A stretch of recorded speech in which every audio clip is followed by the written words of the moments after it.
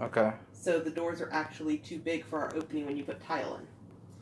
They're about five eighths of an inch too wide. Okay. So, So he had so he had you box. measure it and ordered it, uh huh. and you paid how much for that? Those are almost two It was dollars. it was like eighteen hundred out the door. And that's not clear. That looks obscured. So you probably Yeah. paid for that too. Um, yeah, that's the other thing. You do save money if you if you do it yourself, but you know if the measurements are wrong, Yeah. then you Yeah. kind of you know. And that was one of the things we were wondering is, since the plumbing and everything's in that wall, if there's a way to trim that wall down or shift that wall so that we can use those doors. Because it's like if it costs us three hundred dollars to move the wall, it's cheaper than buying new doors. Yeah, the new doors uh with install, you'd probably be somewhere around there, like twenty four hundred or something. So Yeah, uh, we've we've talked to a couple different places that they could try to